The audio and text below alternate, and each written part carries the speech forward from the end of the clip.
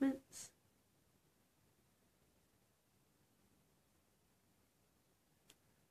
Ooh, tubby tubby.